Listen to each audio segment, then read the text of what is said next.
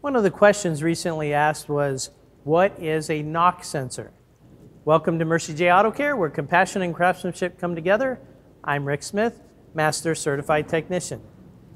Now, a knock sensor or detonation sensor uh, is used on many vehicles. What is one? Well, this is one. But uh, what they do is inside your engine is a lot of moving parts. One of those parts is pistons going up and down. And if we happen to ignite the fuel just a little too soon, that piston rocks back and forth and it makes a knocking sound or detonation or what we might also call as pinging. And so what a knock sensor actually is, is it's called a piezoelectric device. Uh, these are also used for like uh, events where you have like discos and you have the beat of the music uh, playing with the lights.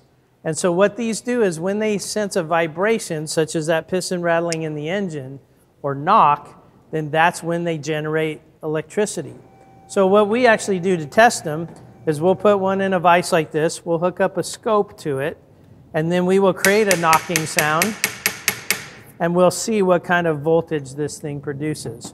That tells the computer that, hey, we have a ping, detonation, knock, whatever you want to call it, and then it adjusts things like timing and fuel to compensate for that so we don't do any engine damage. I hope this has been informational for you, and until next time, safe travels and blessings to you.